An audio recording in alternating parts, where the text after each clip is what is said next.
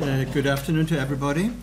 Uh, I'm going to open the first uh, session of um, that, if I may add, extremely interesting conference with an extremely interesting, and allow me please to characterize it as under-researched subject, which is more or less at the core of German-Israeli relations for many decades. People were dealing with culture, science, and knowledge, but having done research about that subject is somehow something which has to be done in the meantime. So, our first session opens up the workshop, the conference. It's even much larger than a workshop.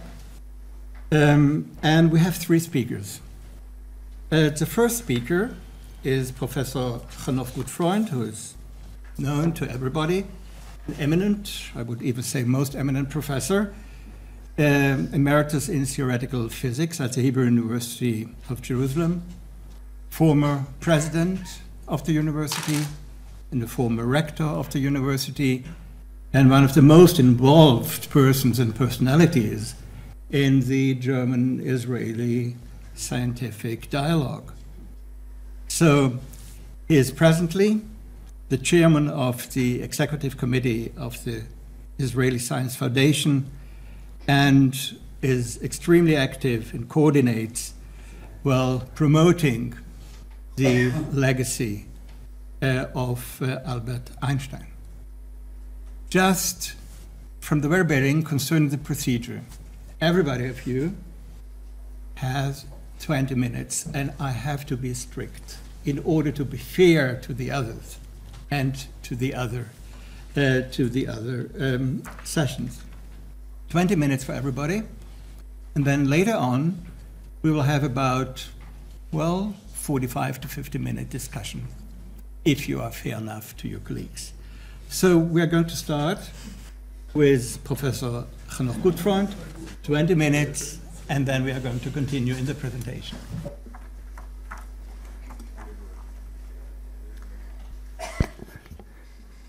Good afternoon to everybody. So, uh, my topic is not in the core of what Gabi Motzkin described as the main theme of this, uh, of this workshop, yet it serves as an important background.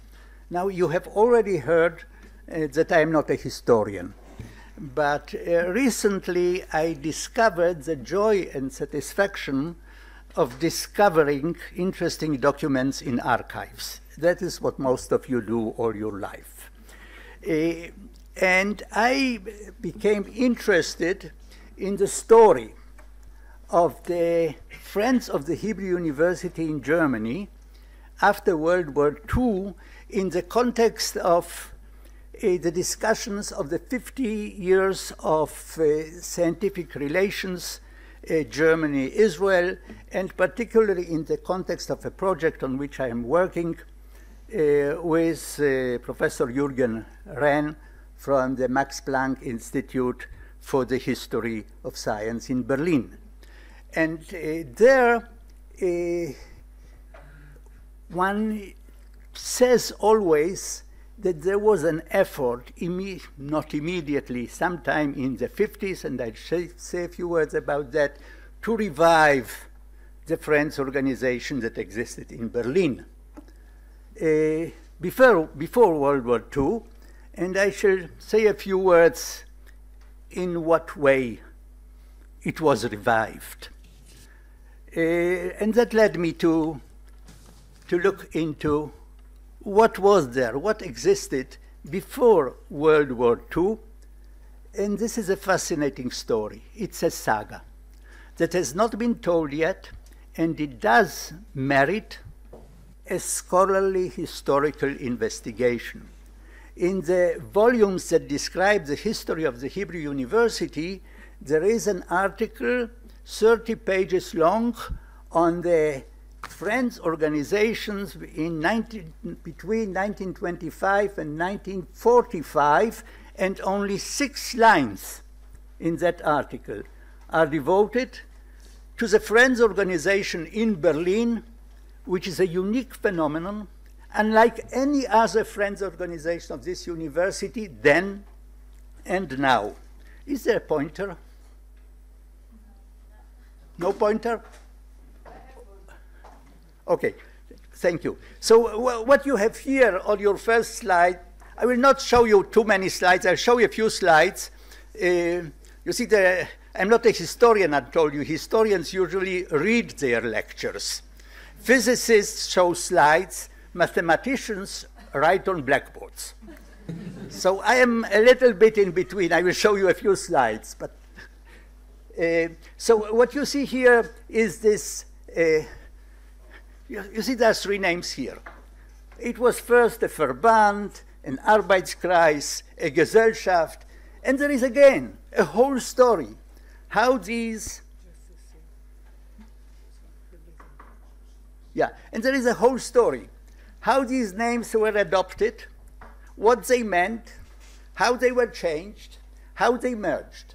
But I will not have time to tell you that story. Now, the Friends organization in Berlin was,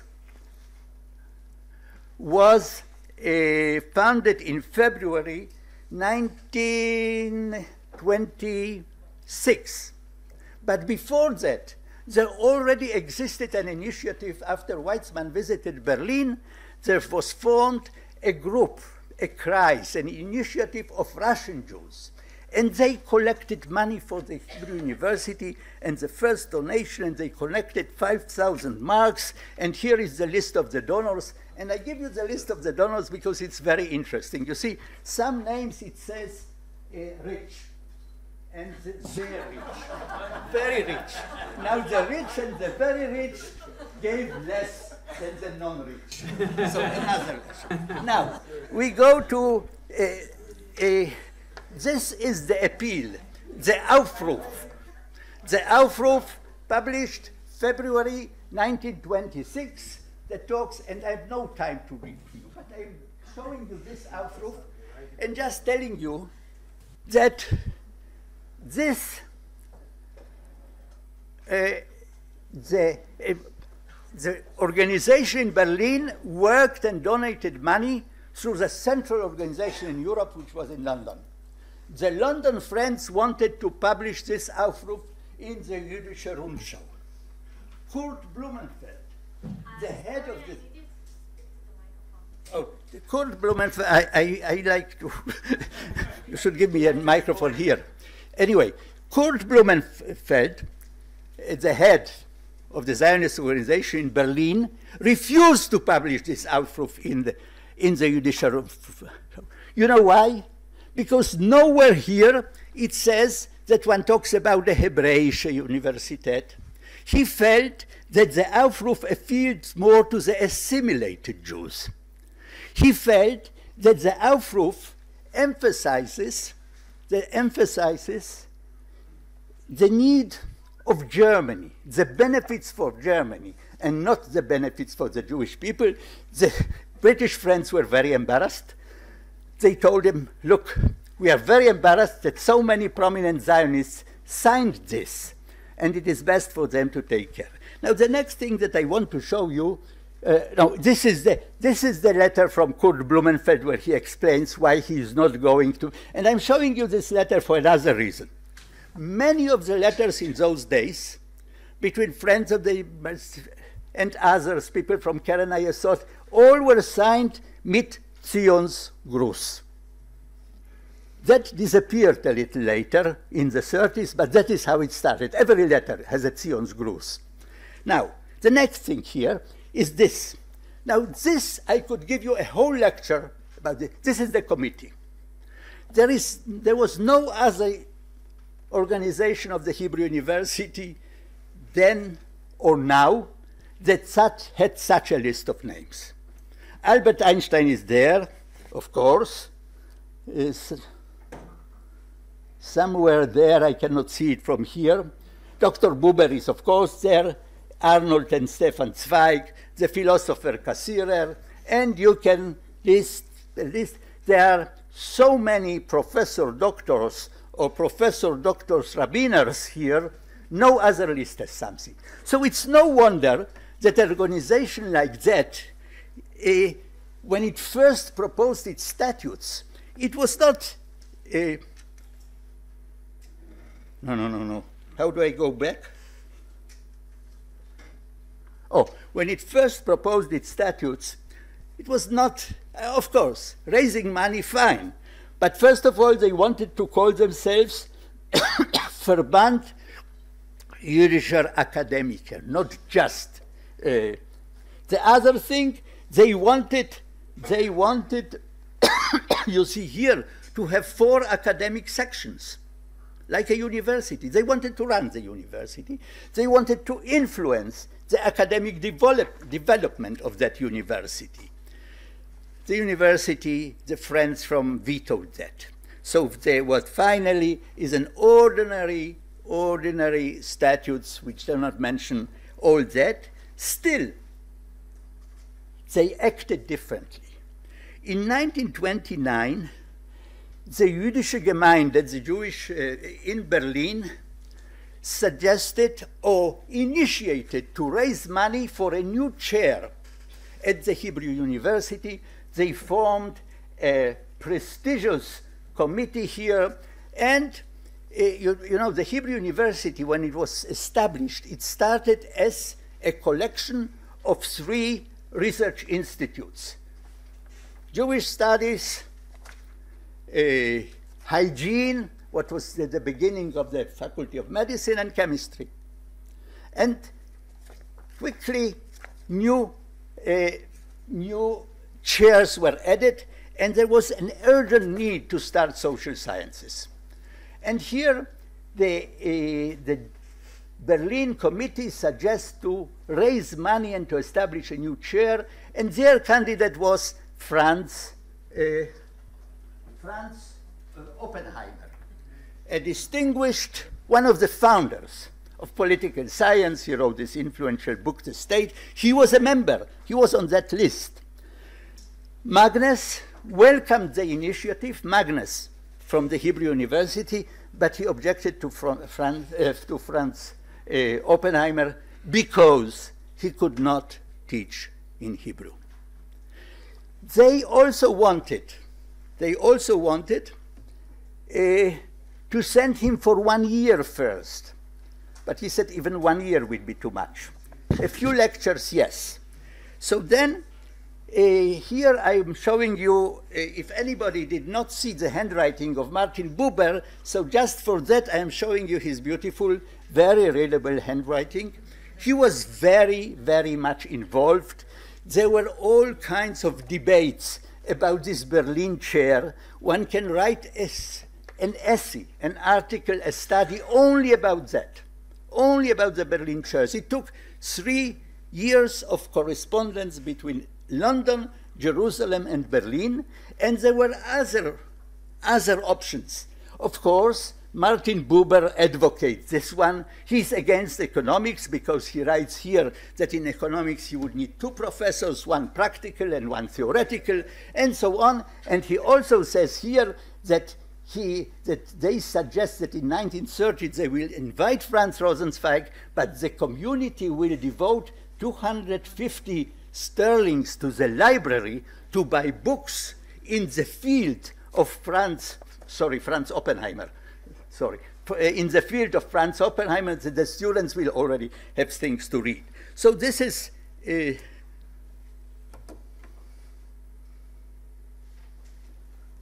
Oh, now there is another thing.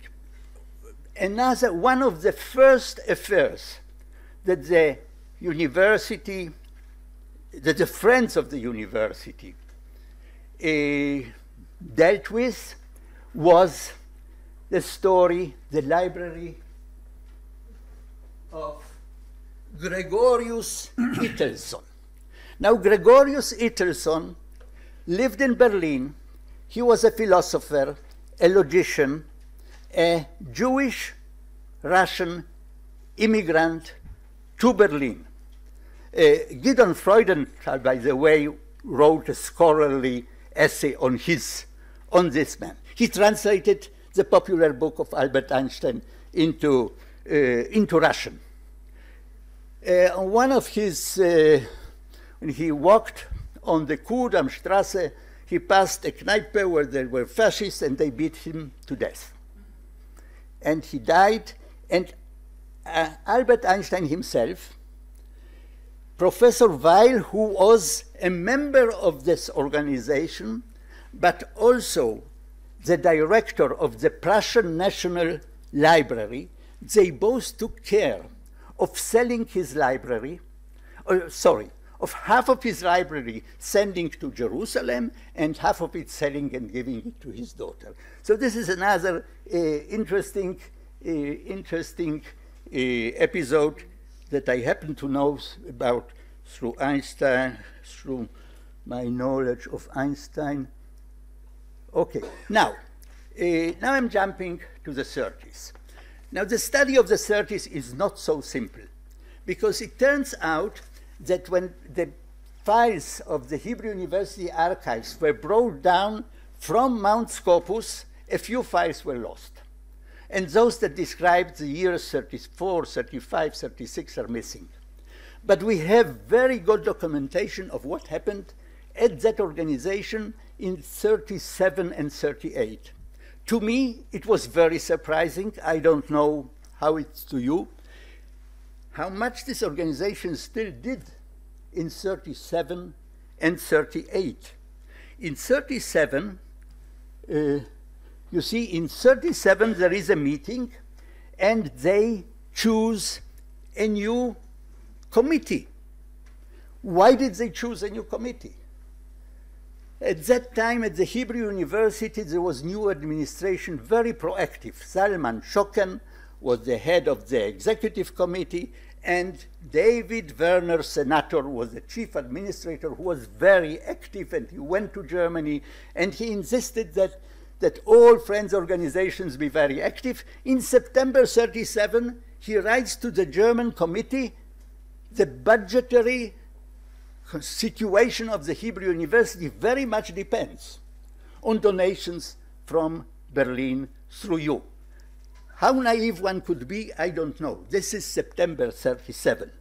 But this is not the end. You see, in uh, this is a letter uh, to senator written from somebody who got this letter on November 8th, 38. You remember what happened on November 8, 38. This is Kristallnacht.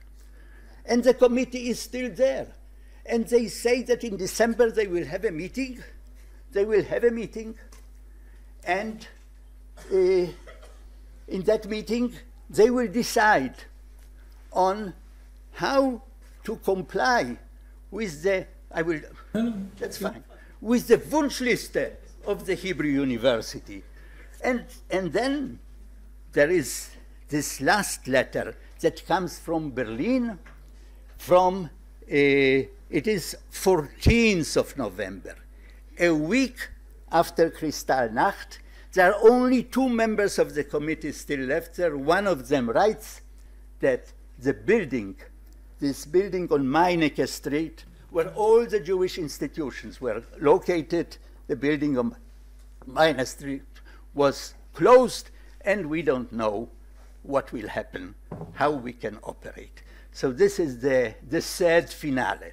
And now I go to the post-war, and it, I will do it without slides and very quickly, and I'll tell you, uh, you see, we talked about revival, but what happened after the war is very, very different from what happened before the war. One cannot understand the Hebrew University's effort in re-establishing its friends organizations in their mode of operation in was not put it in the context of the overall attempts of the political situation of the Ben Gurion Adenauer talks of the of the quest of science to serve diplomacy in those days and also of the different uh, attitudes about which we shall hear later at the Hebrew University in the, in the general public. Now, uh, the man who initiated, who urged the university to start Hebrew organization, Friends of the Hebrew University in Germany was Norman Bentwich, who lectured at the university before the war. He was the British Attorney General in Palestine.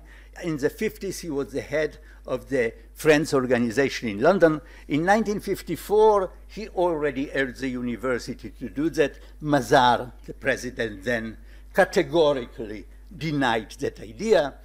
He tried to do it again in 56. He went to Germany. He met people there. He he involved, he talked to President Heuss, and President Heuss even indicated that he would be willing to give his patronage. He talked to people like Theodor Adorno, like Horkheimer, like Professor Böhm, and there was a great desire in Germany to start that. The Hebrew University was still not ready. Only in 1957, when Mazar, when Mazar went to Germany, and he's everywhere, he heard people saying that they are surprised why that does not exist yet, why Friends organizations are not installed yet, that he gave the green light. And then this young lady, uh, Annie Samuelsdorf, Mrs. Annie Samuelsdorf, was sent to Germany. In a very short time, she succeeded to set up societies of friends in Berlin, Frankfurt, Düsseldorf, Hamburg, and München. Now, in all these things, at the head, very active, were non Jews, were academics, were public figures, were bankers, were philanthropists. And there is a, a, a report, there is a report of the Hebrew University from 1980, and that reports on our operations in Germany that report tell us, tells us that friends organizations now exist in Berlin, Hanover, Bremen, Hamburg, Kiel, Düsseldorf, Dortmund, Frankfurt, Saarbrücken, Stuttgart, and München. Not, not anymore, but that is what it was. And again, these, these organizations opened doors, raised funds, hosted uh, professors from the university, and were very active. Now, I'm concluding in the 70s, in the 70s, when the collaboration, the, friend, the German-Israeli collaboration, the German support diversified, not exclusively Max Planck Gesellschaft and the Weizmann Institute, the DFG got into the picture, uh, the Länder themselves uh, became involved, the Minerva centers were established covering a broad range of, uh, uh, of topics, uh, then the center of gravity shifted from the co close collaboration almost exclusively with our friends organization to all the other government and public institutions. And that is another story, but I have exhausted my time.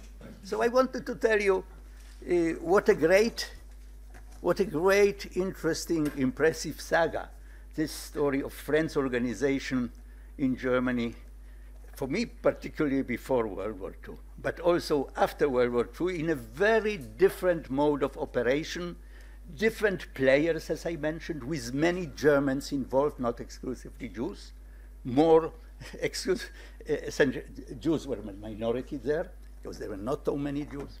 So this is it. And as I said, one more thing. Uh, I think that this merits a historical study that has not been done yet, does not exist yet. So this, for me, what I told you is to whet your appetite.